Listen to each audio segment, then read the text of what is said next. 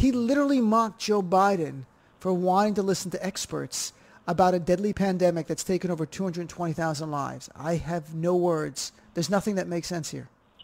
You know, Dean, we, I think we probably had this conversation very early in the year, but back in February, um, Dr. Fauci came before my subcommittee on appropriations, the Labor, Human Services, Education Subcommittee, and said that if we just shut the nation down back in February for two solid weeks, uh, we could have, uh, you know, not had the problem that we were going to have in the United States, like other countries did.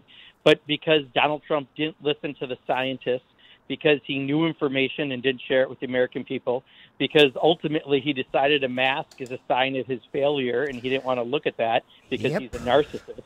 Uh, all of those things are why we're in the place we're at now. Much less there was no national plan, and he made states compete against each other for PPE and testing supplies, etc. Pretty much everything that could have been done wrong was intentionally done wrong by this president. So, you know, when I look at Wisconsin, and you know, people are fundamentally nice in the Upper Midwest, and you know, people believed him. The people who are Republicans and grew up Republican think the president's not lying to them, and now uh, our hospitals are at 85% capacity, and people are dying. And you know, I, I feel bad. Even in my own family, I've got people who are still believing the rhetoric uh, that uh, somehow, um, you know, wearing a mask uh, won't stop you from getting anything that a mask isn't real. I, one of my best friends from high school, who uh, you know we were very very tight in the day, uh, thinks this is all going away on November fourth.